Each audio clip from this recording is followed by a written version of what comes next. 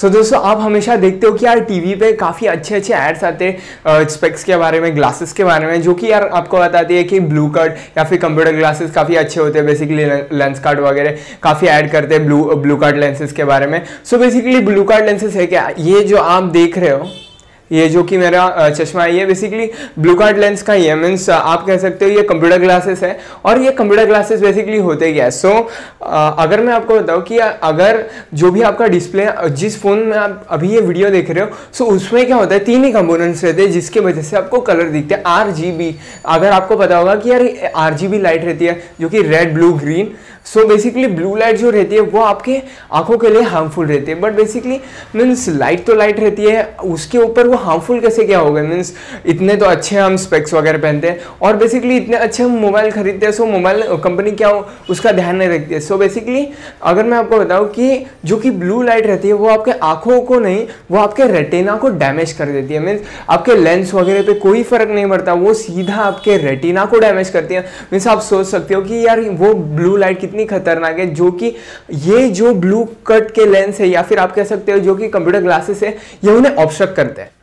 सो so basically अगर आपको दिख रहा होगा ये ग्रीन शेड है जो कि एंटी क्लियर है और बाद में ये आ, मतलब अलग अलग डायरेक्शन पे ब्लू वगैरह कलर दिखता है। सो so बेसिकली जब भी आप मोबाइल के सामने या फिर जो भी आर्टिफिशियल स्क्रीन है उसके सामने अगर आप जब भी बैठते हो सो so उसके अंदर से तीन लाइट्स निकलती है रेड ब्लू ग्रीन और blue light means second amount में निकलती है रेड के पहले और ग्रीन के बाद में मीन्स ग्रीन सबसे ज़्यादा रहती है और बाद में रेड और blue means blue stand second but अगर आप देखते हो कि यार ब्लू लाइट काफ़ी रहती है सो इसके लिए कंप्यूटर ग्लासेस यूज़ करो, ना कि ऐसे नॉर्मल लेंसेज यूज़ करो। बट जो कि आपके जो कि फ़ोन वगैरह है, आप कितना भी महँगा टीवी लो फोर के टीवी लो, चार लाख, पाँच लाख का टीवी लो बट यार कंपोनेंट सेम रहते हैं, बस उनकी स्केलिंग छोटी हो जाती है नैनोमीटर और डॉट पिच वगैरह छोटी हो जाती है सो उसकी वजह से क्लियरिटी बढ़ जाती है, बस और कुछ नहीं, और जो भी फ़ोन में से जो भी लाइट्स निकलती है मीन्स यार एक क्लियर कर दूँ रेडिएशन और रेज में काफ़ी डिफरेंस है। मीन्स रेडिएशन वो होती है गैमा रेडिएशन वो जो कि